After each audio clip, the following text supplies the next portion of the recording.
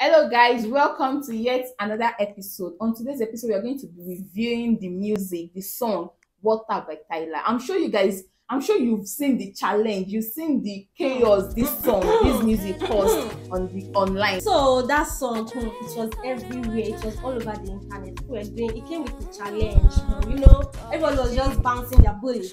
Even had me with no yansh, checking my mirror to, you know, join the challenge. But later, I was unable to join it. Was so interesting Yes. to an extent that she had to like invite Travis Scott. Like, imagine these the two remix. talented people, but like Yes. jamming one one song and making it like this is everybody is going to be. Believe mm-hmm. This song- because this song is Yeah, Travis Scott actually killed it. Like his voice was everything, even the verse, his lyrics. Mm-mm, mm-mm. It was giving hot girl summer. You know, everybody does your ass.